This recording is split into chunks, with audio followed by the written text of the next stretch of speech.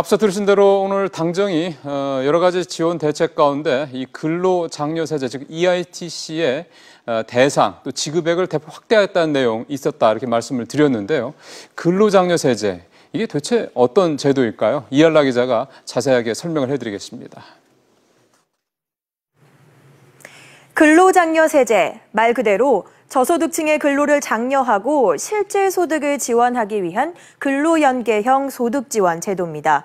사회보험이나 기초 생활보장 혜택을 받지 못하는 저소득 근로자에게 정부가 생계비 등을 보조해주는 일종의 사회보장 제도죠. 근로소득에 대한 세액공제액이 소득세액보다 많을 경우 그 차액을 돌려주는 방식으로 운영되는데요. 근로소득 금액에 따라 산정된 현금이 아닌 세금을 환급하는 형태로 지급한다는 점에서 마이너스 소득세라고도 불립니다. 그렇다면 이 저소득층이라면 누구나 이 근로장려금을 받을 수 있을까요? 그건 아닙니다. 총소득이나 부양자녀수 등 일정 요건을 충족해야 합니다. 근로장려금 신청 기준을 보겠습니다. 전년도 기준으로 총소득이 단독 가구는 1,300만 원, 호벌이 가구는 2,100만 원, 맞벌이 가구는 2,500만 원 미만의 근로자나 자영업자들입니다. 소득뿐 아니라 토지나 건물, 예금 등 총 자산 합계액이 1억 4천만 원 미만이어야 대상자가 되는데요.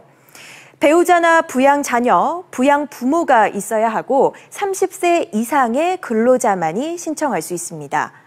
해당 요건을 모두 충족하게 되면 산정 과정을 통해서 연간 80만 원에서 최대 250만 원의 근로장려금이 지급됩니다. 그렇다면 이 근로장려금 어디에서 어떻게 신청할 수 있을까요? 매년 5월 종합소득세 신고 기간에 관할 세무소에 근로장려금 신청 서류를 준비해서 접수하면 됩니다.